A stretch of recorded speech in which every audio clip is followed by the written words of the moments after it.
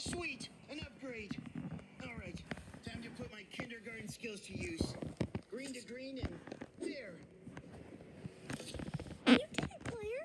Yes, well done, Mr. Player. Well done.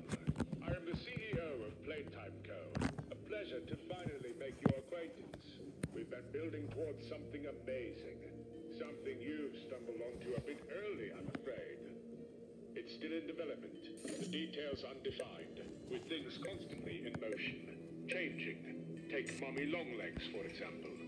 You know about her? She's trying to kill me and my friends. Can you shut her down? Shut her down? Why, she's one of our finest accomplishments. No, I think it's best to let Mommy do what she will with you. You're perfect for her. Why does everyone keep saying that? You Playtime Co employees are all the same. Heartless. Conversation. I think you could both use a timeout. Finally, somewhere